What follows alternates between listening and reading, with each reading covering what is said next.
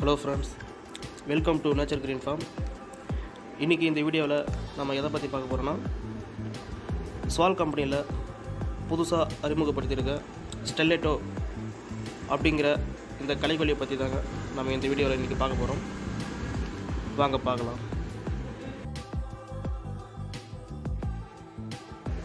ஸ்டெல்லேட்டோ இதோடைய technical name பார்த்தீங்கன்னா pendimethalin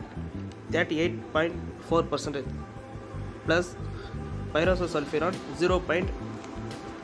eighty five percent ZC இசட்சினா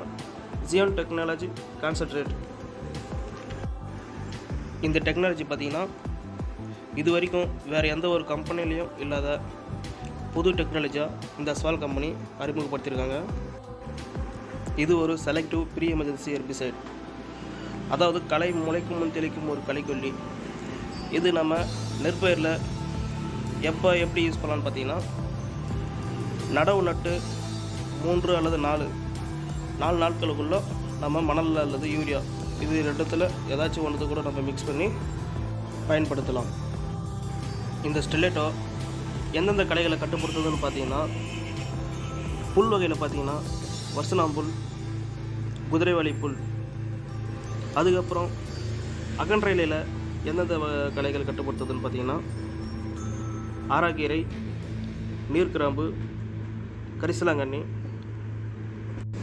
கோரை வகை கலைகளில் பார்த்தீங்கன்னா வட்டக்கோரை கிழங்குக்கோரை போன்ற வகை கலைகளை கட்டுப்படுத்துகிறது. டோசேஜ் பார்த்தோம்னா எட்நூறு எம்எல் பெர் ஏக்கர் இதோட பேக்கிங் சைஸ் பற்றி பார்த்தோம்னா எட்நூறு எம்எல் மற்றும் நானூறு எம்எல் இது ரெண்டு பேக்கிங் மட்டும்தான் இருக்குது